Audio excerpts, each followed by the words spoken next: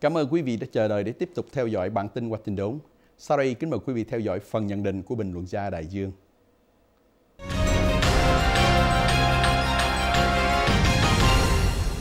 Đại Dương xin kính chào và cảm ơn quý vị đã đón xem chương trình bình luận.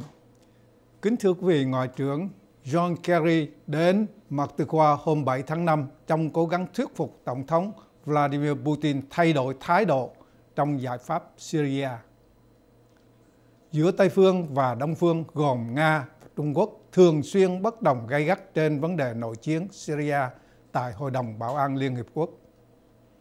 Tây Phương đòi Tổng thống Bashar al-Assad phải ra đi để cho dân tộc Syria quyết định số phận sau khi cuộc nội chiến hơn 2 năm đã làm chết 70.000 người và một phần năm dân số phải chạy loạn sang các quốc gia láng giềng hoặc ở trong nước.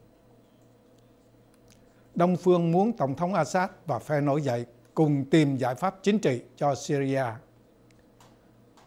Cuộc nổi dậy hòa bình của dân Syria chống lại chính quyền Assad từ tháng 3 năm 2011 đã chuyển sang nội chiến sau khi bị đàn áp khốc liệt.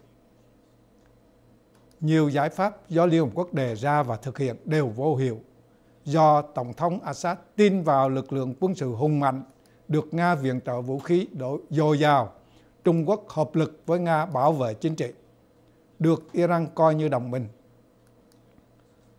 Tổng thống Assad tồn tại nhờ các hành động quân sự tàn ác dựa vào thiểu số thuộc phái alawit, một nhánh của dòng Shia. Cuộc nội chiến đẫm máu Syria đang lan tràn sang các quốc gia láng giềng, làm nuôi dưỡng lòng hận thù truyền kiếp giữa hai dòng Sunni và Shia. Sự phát triển kỹ thuật quân sự của Iran làm cho tham vọng tham vọng bá quyền của dòng thiểu số Shia tại Trung Đông dâng cao, khiến các quốc gia Sunni tìm cách đối phó. Trong khi đó, các nhóm cực đoan Sunni cũng như Shia tại Trung Đông nằm ngoài tầm kiểm soát của chính quyền, khiến cho các giải pháp hòa giải, hòa hợp rất khó thành hình.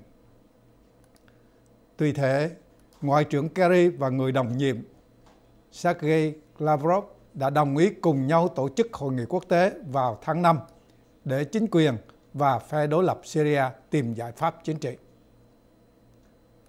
Hai phe tham chiến tại Syria hình như chưa sẵn sàng nhượng bộ các yêu sách đối nghịch nên hy vọng chỉ vẫn là hy vọng. Xin cảm ơn quý vị đã đón nghe.